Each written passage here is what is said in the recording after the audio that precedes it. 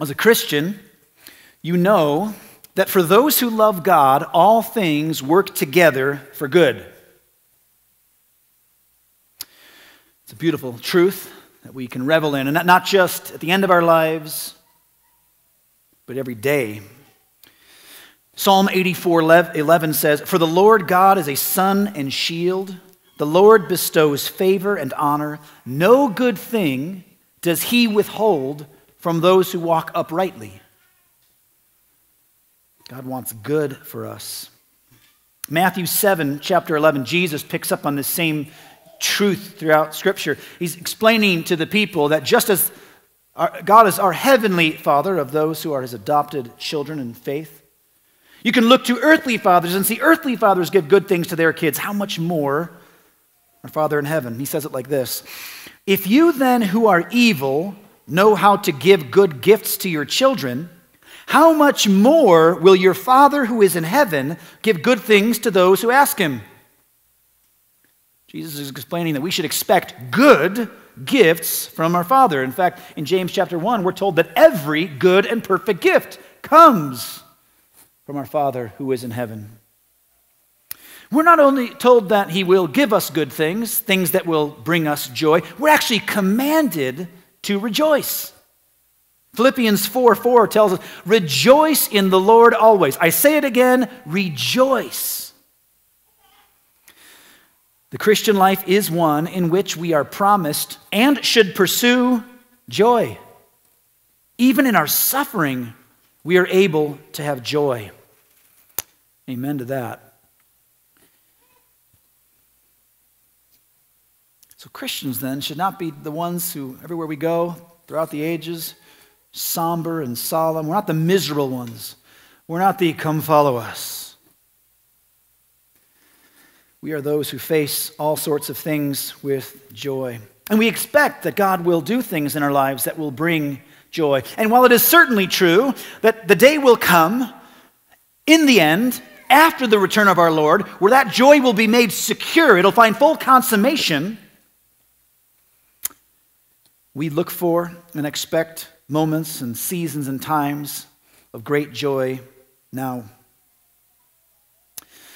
Now, in addition to this beautiful truth that God gives us joy and that we should pursue joy here and now, we also know that every day God's word makes demands on us. It instructs us how to live, how to behave, how to get married, how to raise kids, how to make friends and conduct business, how to relate to our family, our neighbors, our church, even our civil government. So here's the question What should a Christian do when the commands of God's word seem incompatible with his promise to give us joy? I ask this because we're all going to have to face these types of realities quite regularly if we're being honest with ourselves. Imagine a few categories where this might play out. Uh, imagine you're a young man or a young woman you start dating someone, maybe you get engaged even, fall in love, and then you find out that that person's not a Christian, and you are. You see, God commands that a believer not bind him or herself to a non believer. But he also says that he wants joy for you, and, and being with this person brings you joy. So if God wants me to have joy, then, then what do I do? What if your spouse makes you miserable? Well, you read the Bible and you know that the Lord hates divorce. He doesn't say you can just send away your wife for any reason. You can just cast away your husband for any reason. You may not do that. Okay, so if you're supposed to have joy, but going home every day to a wife that hates you makes you miserable, well, then how do you square that? Because the Lord tells you, go home, but have joy. What if your business partner begins making unethical decisions? Someone who used to be a dear friend of yours, someone you trusted and cared for. You realize, I might have to give up this friendship or this job. That might not give me joy. What if a man starts feeling attracted to other men? Or if a woman starts feeling attracted to other women? And that, that Christian then opens the Bible and says, God says that homosexual behavior is a sin, but he wants me to be happy, doesn't he? People deal with these issues every day. And in our world, more and more and more, people have been told, coached, discipled by our world to follow the path that makes sense to us, irrespective of what God says. Why? Because they say there can't be an incompatibility. And if there is one, if you sense that there is one, trust your heart over this. When a person asks this question, it's significant. How can God's promise for my joy work if I stay married to this miserable wife? How can God's purpose in bringing me joy and me being happy today work if I have to quit my job or move away from home or end a relationship with somebody? How does that work? It's at these points we need to be bolstered in our faith. We need to trust the promise of God when what he has commanded seems to point contrary to it. You understand what I'm saying? That there are times where we know, rejoice in the Lord, no good thing will God withhold from those who walk uprightly. That's pointing here. But, but then you want me to, to turn away from this thing that gives me joy? What do I do with these seemingly contradictory sentiments? It's at times like this that the life of Abraham may be grateful, greatly serving to us as believers. That's where we're going to spend our time this morning. If you have your Bibles, go to Hebrews chapter 11. We've been in the roll call of faith, which is a list of faithful saints in the Old Testament telling us of what they did and of their faith that we might look back and see that they were faithful. How much more can we be faithful? We're to be encouraged by these stories. And each one is connected to a person that had slightly different experiences and can provide slightly different encouragements to us. We're going to be in Hebrews 11, verses 17 through 19. If you have your Bibles, you can turn there. I'm going to read those three verses out loud, pray, and then uh, we're going to go back through. We're actually going to spend a significant amount of, amount of our time in the original story this points to in Genesis 22. So be prepared to turn there if you'd like to follow along today. Let's read Hebrews 11, 17 through 19. By faith, Abraham, when he was tested, offered up Isaac, and he who had received the promises was in the act of offering up his only son of whom it was said, Through Isaac shall your offspring be named. He considered that God was able even to raise him from the dead, from which, figuratively speaking, he did receive him back. Let's pray. Father, as we consider this incredibly famous, uh, critical story, um, this moment in history, in time, I pray that you would help us to uh, cross any chasm, cross any bridge that needs to be crossed to make application points, to understand what's going on, to really uh, soak in it, to draw from it what you want from us today. Uh, Lord, help me to be a faithful preacher, to not stray either from what is true, um, to stray into area that's unclear or unhelpful. Father, keep me on the straight. And Father, help me stay true to what the point of this text really is for the benefit of your people. We pray this in Jesus' name. Amen. This story goes back to the life of Abraham. By faith, Abraham, when he was tested, offered up Isaac. And he who had received the promises was in the act of offering up his only son, of whom it was said, Through Isaac shall your offspring be named. If you weren't here with us last week, we started on the life of Abraham a little bit because prior to these verses, we saw the beginning of Abraham's uh, plan in, in Scripture, back to Genesis chapter 12. He was the father of the Jews. First one, as he's called a Jew even, Hebrew. He'd been chosen by God to bear many nations, to be the man who would bring about descendants that would outnumber the stars in the sky and the sand on the seashore. His story begins in Genesis chapter 12. I'm just going to quickly read out loud for you again the three verses that kick off Abram's story.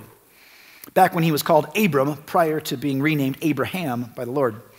Now the Lord said to Abram, Go from your country and your kindred and your father's house to the land that I will show you. And I will make of you a great nation, and I will bless you and make your name great so that you will be a blessing. I will bless those who bless you, and him who dishonors you I will curse, and in you all the families of the earth shall be blessed. It's built upon this incredibly important three verses, this promise made to Abraham that we'll see his life story play out. Today, we're going to spend most of our time in Genesis 22, which brings us to this particular part of Abraham's story. If you want to follow along, you can go there. I will put the pertinent slides up uh, so you can follow along there if you'd prefer that. Because the origin of this reference takes us back to that time in his life. Abram was chosen by God. And after that, some pretty significant events took place. If you're not familiar with the story, I'll try to kind of revisit it for a moment. God promised to Abraham, hey, your descendants are going to be numerous, and I'm going to bless the world through your descendants. He had in his mind the singular offspring, Jesus, will come through Abraham's line that will bless the world. And Abraham, being an old man, knows uh, he's kind of in trouble because not only is he an old man at the time, he's 75 when he's given this call, his wife is 65.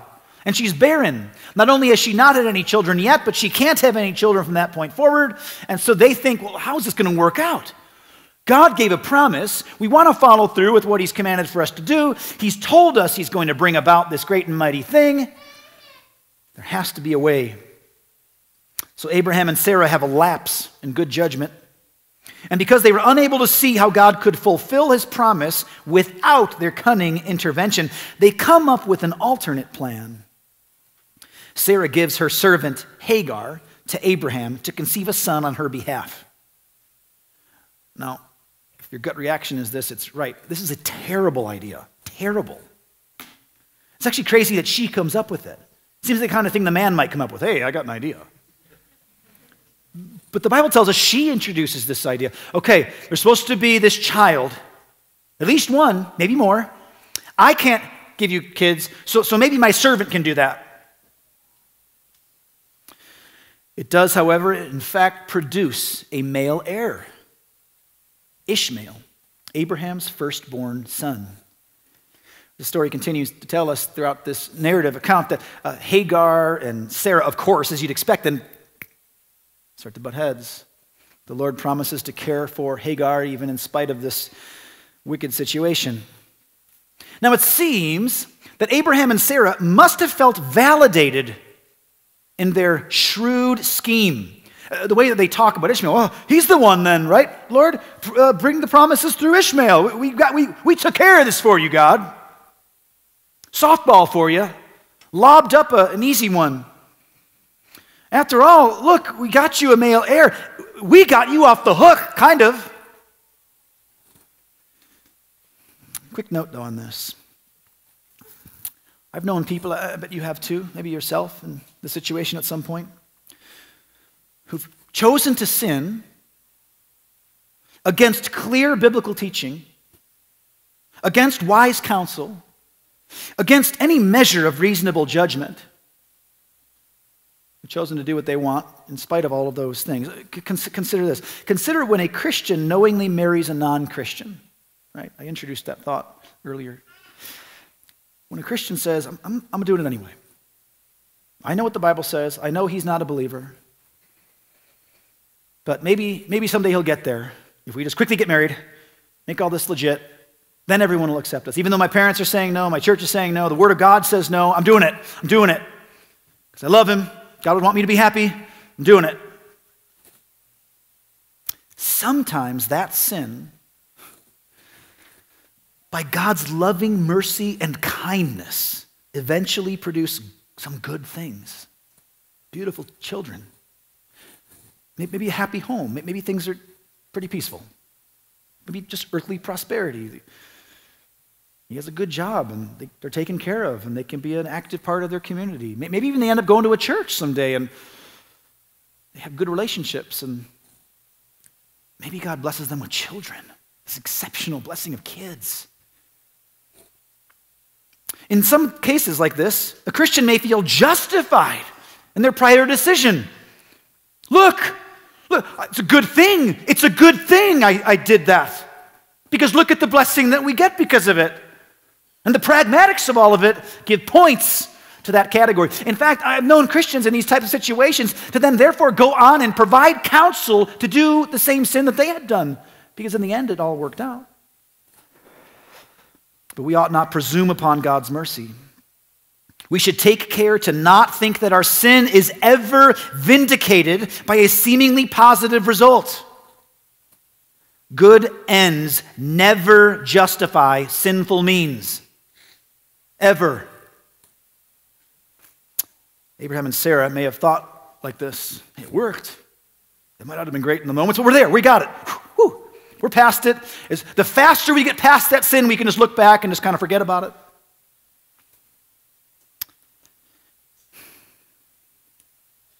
For Abraham and Sarah to so use this young woman, Hagar, in this way was certainly sinful. There's no, there's no way around this. This was sin. They should never have done this. There was nothing commendable about that situation. Sometimes when you read through, especially the book of Genesis, which is kind of a quick history of the, the patriarchs to set up what's going to happen in the rest of the Bible, okay? It's not written by a person who lived through that time. It's written by a person who came 400 years later. Moses writes about the periods of time back, even thousands of years prior. He's writing about these events. He gives us a quick history, and he rarely gives us an evaluation about right and wrong. He just tells us the facts and keep going. And so when you read through Genesis, you can kind of go, well, was that right or wrong? They didn't say. It's really easy. Just read through the text. Nothing commendable, nothing imitable. All of it is bad here. In fact, we can even see that God never validates Abraham's union with Hagar. Never. He never goes, okay, I didn't like the idea at first, but I'm on board now. Never happens. In fact, we can see this, we can observe this in the way that he never once will refer to Hagar as Abram's wife. He only ever calls her the servant or the slave woman, even when the Lord is speaking to her.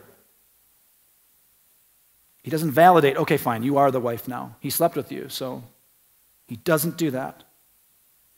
Second, he permits Abraham when there's finally conflict between Abraham, uh, Abraham's wife Sarah, and, and, the new child of promise Isaac, who was given supernaturally when she was, she was like 90 years old.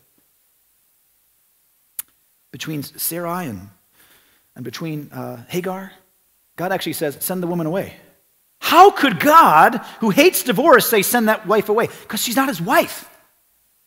She's a mistress. And the son is already of, uh, of the age to head out on his own. He's, he's already over 15 at this point, you know. He's at the age where he can go be a young man and go out. And God promises to bless him and care for him. And God says, send the woman out. She can go. Listen to your wife and send your mistress away.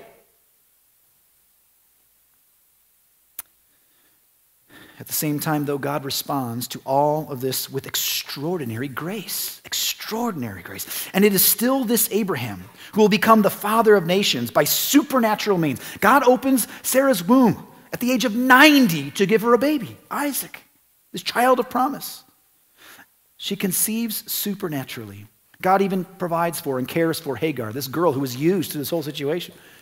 I'm sure she wasn't faultless, but God shows up. I'll, I'll care for you too. I will be your God. He cares for Ishmael. I, I will be your God. God was working his plan exactly as he had said that he would, even in spite of their interception. God shows up, and just in his good grace. Brothers and sisters, to wrap that thought up, never think that because a good result uh, here and now it, it comes about, that we should therefore then try to reproduce that by the same means. Don't do that. There are sometimes that churches make really, really, really bad Bible op- opposite from the Bible decisions. But someone got saved, God is just good. He's just gracious. He's not waiting for you to get everything perfect, to square away and kick out all the sin before you'll get any good blessings. Sometimes God just blesses because He's good. He's a good and loving, generous, kind, merciful Father. And this this amazing grace, this, this merciful provision of Isaac anyway, you're still the man that I chose. I'm still going to do this through you. Sarah, you've never been a mother. You're 90. You've always wanted to be one. You don't even, you haven't adopted kids even. You, you, you, you don't have anything. I will give you the child. God is so merciful to them. And this is what makes what happens next so striking. Genesis 22. Let's start at the beginning of that part of the story. Verses 1 and 2. After these things, God tested Abraham and said to him, Abraham. And he said, Here I am. He said, Take your son, your only son Isaac, whom you love, and go to the land of Moriah, and offer him there as a burnt offering on one of the mountains of which I shall tell you. Right off the bat, we see that God is going to test Abraham. In fact, it's, it's, helpful to see this. The word test is used both in the Genesis account and it's repeated in Hebrews 11. Uh, God, God tested Abraham. In other words, God never intended for Abraham to kill his son. That's made very clear throughout this entire story. He is testing Abraham. And what does he test him with? He says to him, Take your son, your only son, Isaac. Did anyone catch the wording there? Only son. Only son. In fact, some translations will, will put only begotten son, only begotten, just like it says in John 3 about Jesus. Wait, Isaac was born maybe 15 something years after Ishmael. He already has a son. So, why is Isaac called the only son? The Bible refers to him this way for a reason. First, it is Isaac who will be the son of promise. He is the one through whom that promise to multiply into generations, nations full of people, he's the one who will carry that promise. Number two, at this point in the story, Ishmael's already been sent off to start new nations, to go, to go prosper in another place that God will bless him. He's going off on his own. So he's not under his care as a son in that way anymore, but probably more to the point, Isaac will be the son of promise. And lastly, just consider this Isaac Listen carefully. Isaac is the firstborn son of Abraham. I'm not trying to be tricky here. But Ishmael was the firstborn son of Abram. Okay, now this isn't just semantics. I want you to consider this for a second. I told you earlier that Abram was his original name given by his, his father. Uh, God will, after Ishmael is born, Speak again to Abram and say, I will change your name to Abraham. And Abraham will be the father of many nations. And it is at that point that he gives him this covenant sign of circumcision, which he didn't have when Ishmael was conceived. People wonder sometimes, what's the significance of circumcision? That's a really odd, why that thing be, the, be the, the thing that is an evidence, outward evidence of the fact that I'm a person of God in the Old Testament for a man? Why? Well, because at the point of conception of every child, there was to be a reminder that we are people who are honoring the promise of the Lord. That's why. Right there at the moment of conception, that was supposed to be thought, that was supposed to be present in that kind of moment. Isaac is the first one who's conceived after circumcision is given. And Isaac is the only son at this point born to newly named Abraham. Does that make sense? I think that's more significant than just name change. I think that that means that there's a kind of newness of seizing of Abram. You are now Abraham. And therefore, Isaac is distinctly the son of promise in such a way that he can be referred to as his only son. And again, he'll do this one more time in this account. Uh, God will refer to Isaac as the only son. That's what's in mind. But what he says about this only son is actually far more shocking than the fact that he calls him only. I want you to take this son and go to the land of Moriah, that's Jerusalem, future Jerusalem, and offer him there as a burnt offering on one of the mountains of which I shall tell you. This, this is what is shocking. Go kill your son.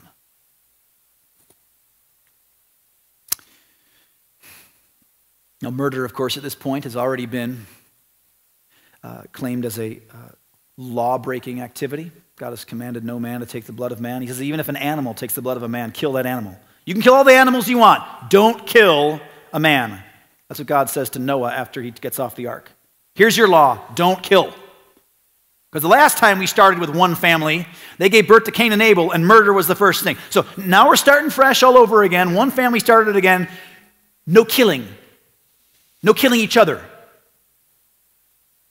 So that is out there. But I, people have asked before, well, wait a second.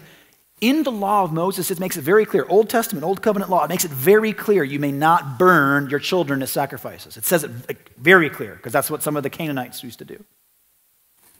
So isn't God telling him to do exactly the opposite of what the Old Testament law said there? Something to bear in mind Abraham precedes the law by 400 years. Four centuries later will that law be codified and written. Okay? You and I don't live in the same period of time, in the same, uh, the, the same frame of mind, even, than Abraham would be. I don't think it'd be possible for God to go to you and tell you to kill your kid. Why? Because in our day, New Covenant day, we already have a sacrifice that has finished all the sacrifices. That's why. That's why you and I could never be in this exact situation. But Abram could. And Abraham was told, go sacrifice the son of promise. God has been working with Abraham for decades. He's been promising that this Isaac would be a son and would be his heir. He even clearly made it, made it, this isn't just like, go kill that, that son and I'll give you another one later. No, no, no. God made this super clear. Genesis 17, 21. Prior to this, he says, I will establish my covenant with Isaac, whom Sarah shall bear to you at this time next year. God calls him out by birthday, by name. That one will be the one. And then he tells him, go kill him. So not only is he being told, go kill your son, but he's being told, Go kill the son that I have promised will turn into many nations. So, whether it was just Abraham's response to killing his kid, or the other side, less emotional but just rational, well, God, how will that work? Either way, what an incredibly heavy blow to be dealt to Abraham. And how did he respond? Abraham rose early in the morning saddled his donkey, and took two of his young men with him and his son Isaac. And he cut the wood for the burnt offering and arose and went to the place of which God had told him. Abraham obeyed without delay. He just got up. The retelling of this story by Moses, writing this down under the inspiration of the Holy Spirit, records nothing in the ways of an argument or even a question or even a challenge. Uh, but God, wait. Don't you remember the promise? Nothing's recorded here for us, just obedience. Unlike Moses, who will go, Whoa, God, no, not me. I, I, can't, I can't go back to, to Egypt. Whoa, whoa, whoa, whoa, you need someone else. Unlike Gideon, oh, I'm not so sure. God, uh, maybe you provide a couple miracles and then I'll know. Both of whom will be commended in Hebrews 11, for the record. Unlike those men, Abraham listens the first time, even to such a heartbreaking command. One that would, would have even been nonsensical. It seems an obvious place to pause and ask us as believers today whether or not you and I would have done the same thing if we were in his shoes. Again, not in our day, but if we were there, if all the necessary conditions for this type of thing were offered up, what would we do? It's a heavy challenge. You see the faith here of Abraham. On the third day, Abraham lifted up his eyes and saw the place from afar. Then Abraham said to his young men, Stay here with the donkey. I and the boy will go over there and worship and come again to you. It takes three days to make the journey from the south portions of what would become Israel. He was in Beersheba, uh, he was uh, in the Philistine territory, it says in the chapter before this. And then he travels the three day march up to what will become Jerusalem. There's a bunch of hills up there. One of those is Mount Moriah. That's where he's going to sacrifice or offer the sacrifice. Can you imagine what that journey must have been like? Like how many opportunities there would have been to turn around or, oh, I twisted my ankle, I can't go on, or, you know. I mean, all of those things. Listen, I don't know what the inner prayers of Abraham must have been at this moment, neither do you. But we do know that the record given to us, inspired by the Holy Spirit, is he gets up and he goes. And he doesn't tell anybody about this. He's keeping this to himself three days. Can you, can you just imagine? How do you sleep? Carrying this weight, wondering what's going to happen. And when he gets to within eyesight of the mount where he's supposed to go, he turns to the servants his young men, and he says, Stay here with the donkey. I and the boy will go over there and worship and come again to you. Now, this is lost a little bit in English, uh, but in, in both Greek and in Hebrew, those verbs are all plural verbs. So, in other words, it would read like this Stay here with the donkey. I and the boy, we will go over there, we will worship, and we will come again to you. So, we're going there and we are coming back. That's what he says. How can he say that if he knows that he's supposed to go kill Isaac? It may sound like wishful thinking. It, it may be he's just lying because he doesn't want them to know what he's going to go do, or he's not ready to say it in the hearing of his son in case Isaac tries to make a break for it or something. But the author of Hebrews, I think, gives us a little more insight in here in telling the motivation for this. I think Abraham meant this. We will come back. Why? Because that's what he's being commended for in Hebrews 11. He believed even if his son died, God would raise him from the dead if he had to, because he will keep his promise. So Abraham can say, We're going. We will come back. I think, I think that's what he means. And Abraham took the wood of the burnt offering and laid it on Isaac, his son.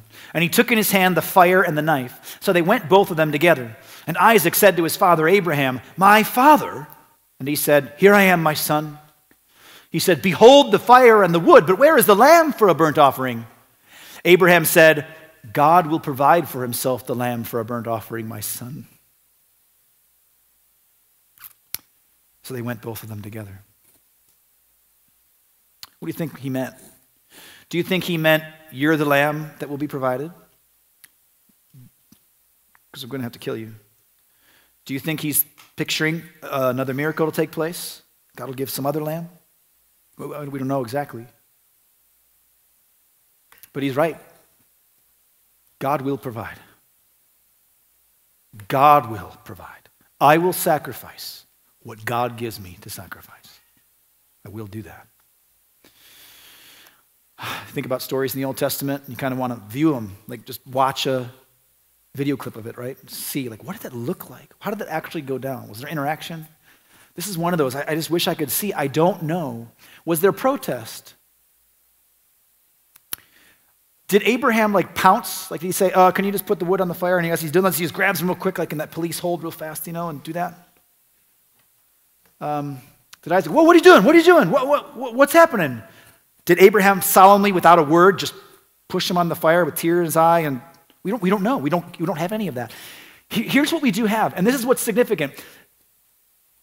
This, this, is how the, this is the way we view how the Bible was given to us. This wasn't just God saying, hey, uh, how would you tell that story? Oh, that's sufficient. Write that in there.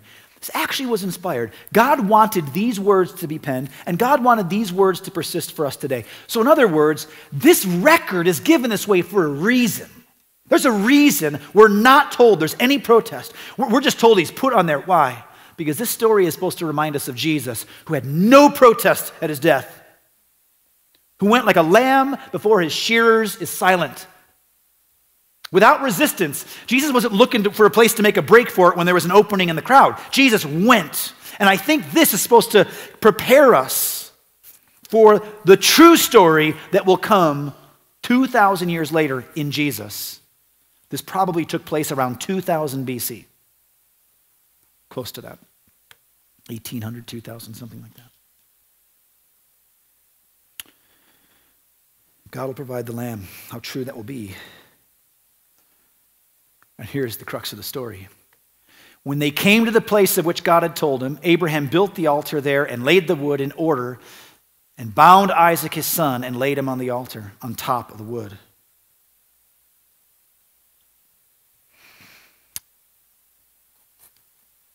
Then Abraham reached out his hand and took the knife to slaughter his son. But the angel of the Lord called to him from heaven and said, Abraham, Abraham. And he said, Here I am. He said, Do not lay your hand on the boy or do anything to him.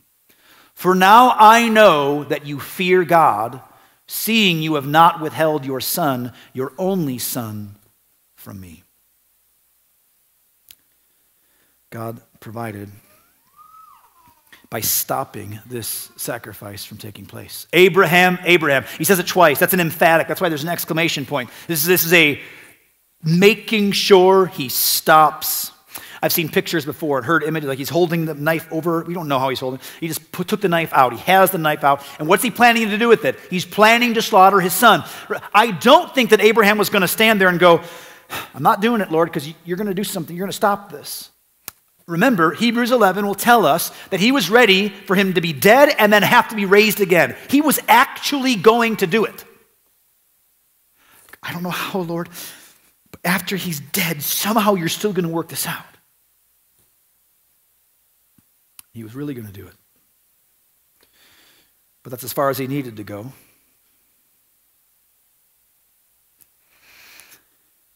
One question for you. Why does, why does it say then, now I know, for now I know you fear God? Quick question for you. This comes down to a, view on the omniscience of God. You know what the word omniscience means? All knowing.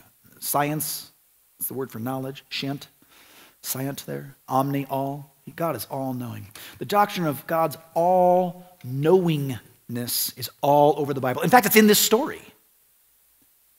God didn't have to experience particular events in order to know what would happen.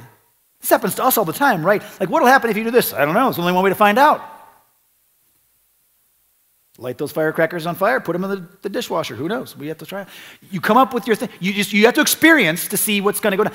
This is not the way that God knows things. Look at what, look at what he already told these people. He already told them, You will have a son a year from now. Bam! How did he know that? Because God knows all. God, God says to them, It will be Isaac that that promise will go through, and that I will bless many nations.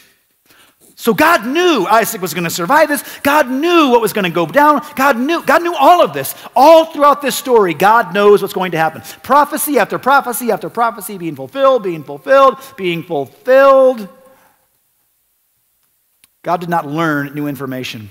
We do not think of God as one who has to learn like we have to learn. Sometimes people say that, like, well, God has to look into the future to peer and go, well, I'm not, uh, I'm not sure what will happen. Let's look. Oh, that will happen.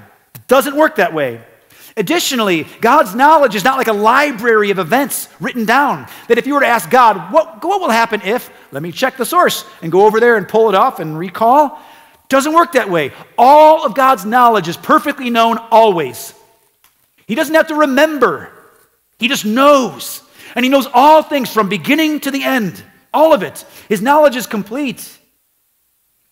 But we see these kinds of statements like this, especially in Genesis, actually more than in other places. We call them anthropomorphisms. That's the big word. It's just talking about God and his emotions as though he was a person in order to help us understand him, to understand the emotions, the relation of God, what it is that was going on in his mind. Sometimes the Lord gives us some insight into that. This event had to take place. God didn't just go, listen, I know what would happen because I know everything. So you don't, we, just, we can just do away with all of this almost sacrifice business. Abraham needed to experience this. Isaac needed to experience this so that you and I could read about it today. So that we are still served by this. God knows all things from beginning to end, but we don't. But now we know something about God and us that we wouldn't have known otherwise. And we know about Abraham that he actually did act in faith. You know that faith that Abraham has had? It's actually put to work here. We actually see it playing out. He actually believed that somehow God's promise would remain true even if he killed his son. This test was for Abraham and for us. And look what happens next. And Abraham lifted up his eyes and looked, and behold, behind him was a ram caught in a thicket by his horns. And Abraham went and took the ram and offered it up as a burnt offering instead of his son. Here we see what we call substitutionary atonement. Atonement is offering a sacrifice in order to appease our God, in order to, to, to relate again with Him, to have peace with God. At one ment, as I've heard people say, it's kind of a helpful way to think about atonement. Being brought into relationship again with God. Substitutionary, it's a substitute, an alternate. Something else died so that atonement could happen. In other words, think about it like this God did not say, Pass the test, Abraham. You guys can get off this mountain. Go, get out of here. You. Nothing like that. The sacrifice was still necessary. There will be blood. Something is going to die on this altar. Something will be burned on that wood that was carried up there. God demanded a sacrifice, and a sacrifice would be had. This is one of the things people don't realize about our perfect, perfect, just God. Justice will prevail. God doesn't just go, ah, forget about the sins, ah, forget about judgment, ah, forget about justice. Who cares? Anything goes. It doesn't work that way. If he did that, he'd be a wicked judge. God is a just judge. And when he commands for something to happen, it will. There will be a death. Something will die on that altar. But by God's good provision, it was not Isaac, but the ram, the substitute. Substitutionary atonement, as a doctrine, is under fire these days. If you don't know this, it's swimming in intellectual circles. It'll, it'll trickle itself down. It already has in many places and in many ways. But you need to know that the whole Bible speaks to this idea of a substitute offering. I've had uh, random people on the street, atheists, uh, some people who grew up in a Christian background. I don't understand. How could that guy's death, that guy, Jesus, him dying, have anything to do with me?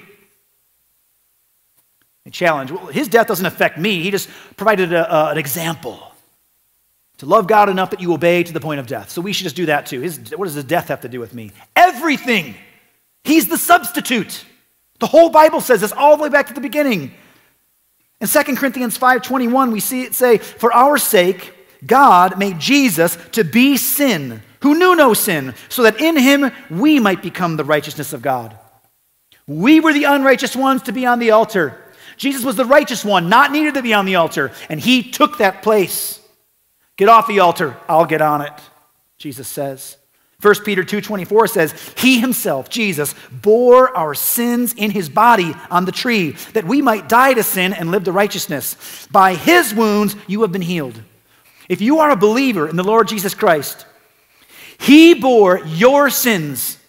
That's what we needed. Someone to die in our place. He took your sins, put them on him. He took your dirty, filthy, sinful robes, put them on himself, took his pure, white, perfect ones, put them on us, and he laid down and said, Kill me. 1 Peter 3:18 says, "For Christ also suffered once for sins, the righteous for the unrighteous, that he might bring us to God, being put to death in the flesh but made alive in the spirit." Brothers and sisters, if you want to have if you want to have eternal life. Believe in Jesus, and that trade will happen to you. Believe in the Lord Jesus. Believe that He is perfect and you are not. That He went to a cross, a cross that should have been yours. Believe that He died in your place, so that when you stand before the Lord someday, and if He were to ask you, Why should I let you into heaven? The answer could be, I deserve to have died, but your Son died for me instead. That's the Christian faith, believing in that.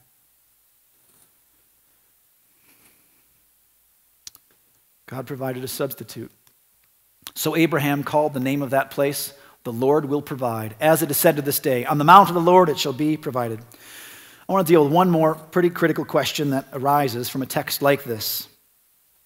People read this account, they read this account of this ancient deity who told this primitive man, Go kill and burn your son. How could God do such a thing? Well, don't you know he's going to rescue him? Sure. But how could he do that? How could, how could he so toy with the man's emotions like that? How could he torture a father like that? That father waited a hundred years to have this boy. How, how could God be so cruel? Brothers and sisters, you need to know God is not a man that he could be judged like us. He can do things while remaining sinless, that if you and I did them, it would be sin. Did you ever think of that? God can do something and it is not sin. If we did it, it would be sin. Uh, simple things. Uh, God can receive worship. You cannot. You receive worship, sin. In fact, God has st- strike people dead for that. He can receive worship. Why? Position. God is creator, we are creation. We are not on the same page. We, we, we are not the same species.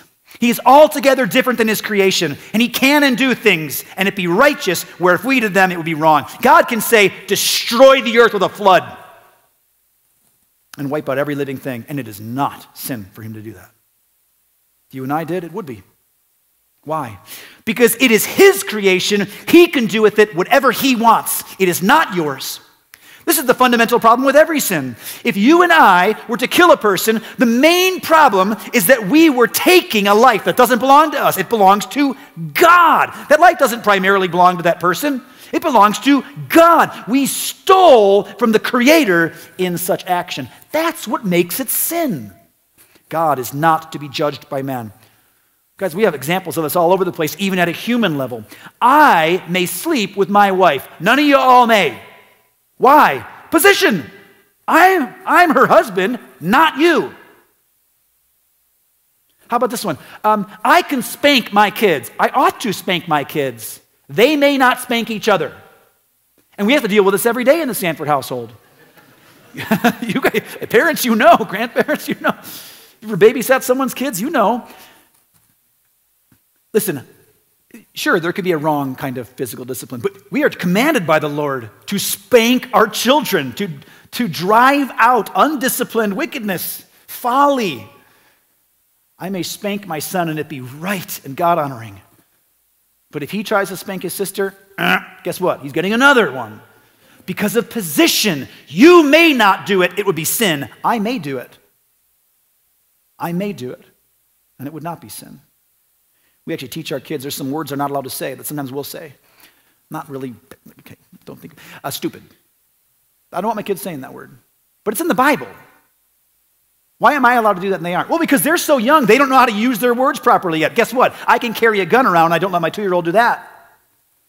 You have to learn to respect those things before you're given the right to use them and wield them rightly. Position. Brothers and sisters, that, that's at a human level how much more God and us?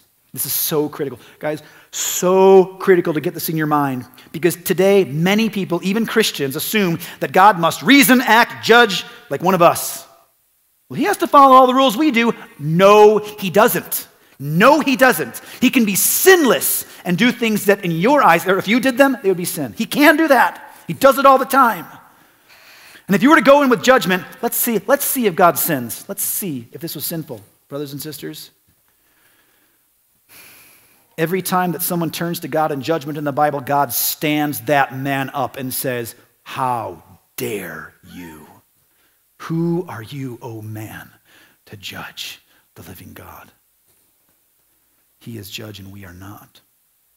In fact, the way that you and I may even evaluate what we do is either good or bad is by measuring it up against God, His standard, not the inverse. We never take God, the judge, and put him down beneath us and us in the seat of judge. He is judge. And Abraham's response here shows exactly how a man of faith should respond to God in worship. Worship. So what happens? This whole the whole event takes place. Think of the emotion just washing over this father. Oh my goodness. Have you ever thought about what the relationship must have been like with Isaac and Abraham after that point? You thought about that? I don't know what it's like. God, are hey, Dad, are you going to do that again to me?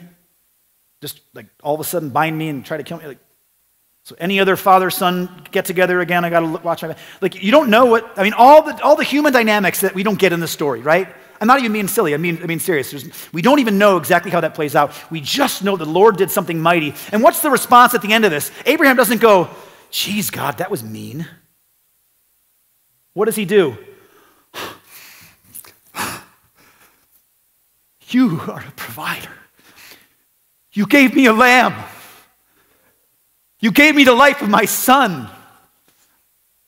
He comes skipping down the mountain, and what does he come down saying? Not with this, not with a sullen, God brought me through this really rough time. Why would he do? He came down saying, The Lord's the provider, he provides. And that, that, that saying went out on the mount of the Lord, it shall be provided. We don't whine about what God has done, we consider it joy. Worship is the response of a man or a woman of faith when we endure loss and we endure things that we experience from the Lord that we don't understand. God, why? I've tried to be faithful and then this marriage is falling to bits. Why would you, why would you bring me through this? No. The Lord has promised good for us, and He will provide it. We are not to judge Him on that. We are to trust Him, trust Him, and seek worship. Back to the text, and we'll close. He considered that God was able even to raise him from the dead, from which, figuratively speaking, he did receive him back. This is in Hebrews again, Hebrews 11 19. This gives us an insight into this story because it tells us something that every other retelling of this Abraham Isaac situation doesn't tell us. This tells us that he knew somehow that God would even raise him from the dead. This doesn't say, well, he didn't think that God would let him go through with it. No. God will fulfill his promise. He will. And if I don't understand how Isaac's death turns into billions of grandkids, if I don't understand that, I don't have to because God promised. He promised. Brothers and sisters, you and I are going to look around in the world today and we might go, Jesus promised to build his church. He's going to win this battle. He's going to make all of his enemies a footstool for his feet. Not one inch of this creation is he going to lose. All of it is his. And we we're in those moments where, we're like, but, but Christians are dying or they're being persecuted or it seems like the church is just from the inside out rotting. How is this going to work? We have faith. God knows. He knows what He's going to do.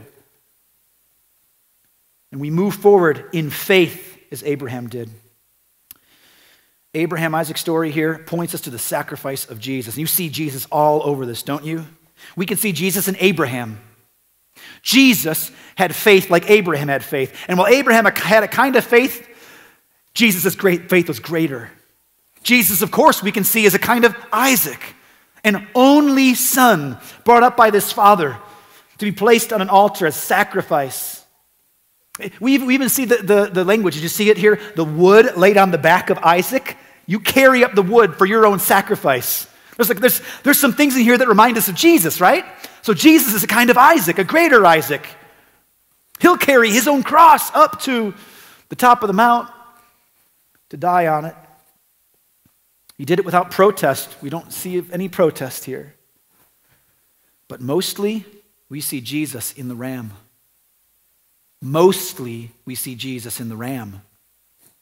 In other words, he's the substitute sacrifice. Primarily, Jesus is not the Isaac. Brothers and sisters, we are the Isaac. We're the ones that the altar was made for. We're the ones that should have died there. But the substitute rescued us from death. That's the point. Ultimately, you and I are like Isaac and rescued by a moment of death by God's perfect provision. You might know the exact place where Abraham offered the substitute sacrifice in place of his son would eventually become the exact place over which his descendants would build the Jerusalem temple, where the sacrifices were brought in to atone for sins. That same place. If angels had fixed their eyes on that spot in geography from heaven, they would continue to see sacrifice after sacrifice, starting here with Isaac, substituted by a lamb. It would be that same hilltop, the same place where Abraham's offspring would place their Messiah on a cross. He started at that same mount and marched down to his death. He was condemned there. And the point of this text is that this was faith, not foolishness. And it is commendable. These verses are here to commend Abraham's faith in such a remarkable moment in history. When God makes a promise, you can take it to the bank. This is for our encouragement. Do you remember what Abraham's faith was in? That God was going to take this son that he just commanded me to kill, and he's going to make that son into nations. And it is true that there was fulfillment of some of the promises that God made to Abraham during his lifetime Isaac's birth, him rescuing him from, from death here at this moment. And he even experienced miracles on those occasions supernatural birth. Uh, he provided the ram supernaturally spoke to him out of heaven. But the greatest promise given to Abraham would not be experienced in his lifetime. He did not die having received the fulfillment of the promise but still waiting for it. And yet he persisted in faith. So not only did Abraham believe God concerning Isaac's birth, and when he offered him on Mount Moriah, but he continued to believe God even when the greater promises were not yet fulfilled. And this is the encouragement of this text. This is why it is in Hebrews chapter 11. That you and I can be encouraged because we have seen the fulfillment of the promise he was still waiting for. Therefore, how much more should we remain faithful? God has promised that he will work everything out according to the purpose of his will. Everything. He's working it.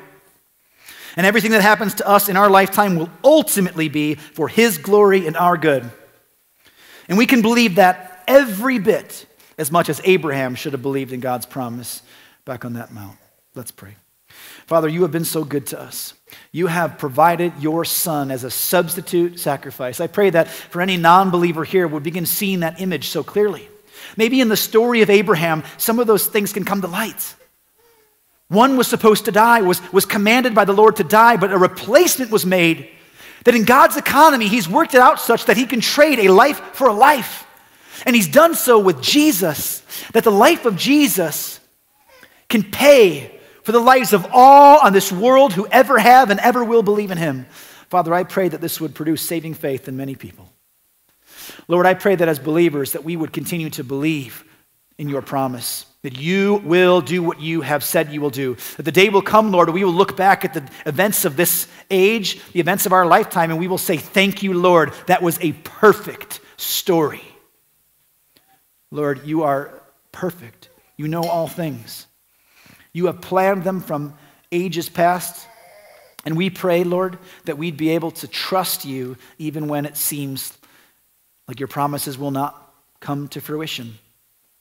Help us to reject that nonsense and trust you and your word. And we pray these things in Jesus' good name. Amen.